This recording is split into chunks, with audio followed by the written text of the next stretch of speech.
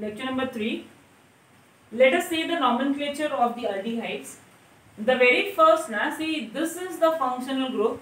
The functional group which is attached to this, ye ho gaya alpha. Okay, so it is alpha methyl 1, 2, 3, 4, 5. It should be valeraldehyde. Na? I have written the butylaldehyde. It should be valeraldehyde.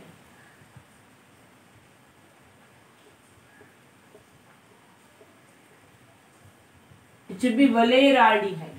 Okay, it is alpha methyl valeraldehyde. That is the common name of the compound. IUPAC आएगा. It is 2 methyl butanol. It is 2 methyl butanol. This is 1, 2, 3, 4. 2 methyl butanol. Okay. Now, इसका common name it is acrolein. Acrolein. IUPAC क्या रहेगा? This is 1, 2, 3 pro 2 in all. I think no need to explain this. This is 1, this is 2, this is 3. Pro 2 in all. Now, if you have a structure like this, it is crotonaldehyde is the common name of it. IUPAC रहेगा butene. No need to write one R. You can say it is butene all. Now, if you have the structure like this, glycerol CHOOH that has to be, we have replaced it by CHO. So it becomes glyceraldehyde. That is the common name of it. IUPAC क्या रहेगा? This is given the preference. So it is one, two, three, two comma three dihydroxypropenal is the IUPAC name of it. Okay. Now we go for this.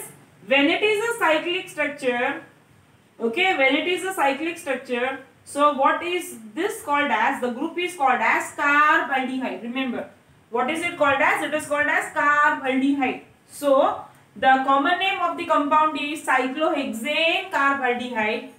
Carbaldehyde is also accepted in the IUPAC nomenclature.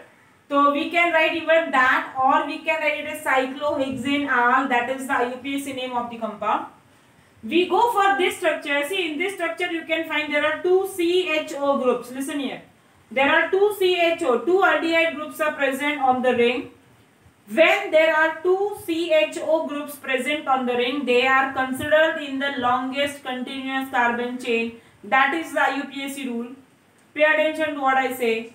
When there are two CHO groups attached directly to the parent chain, they are considered in the parent chain. So the IUPAC name of the compound is pentane dial. Di because दो R CHO groups है. So it is called as pentane diol. That is the IUPAC name of it.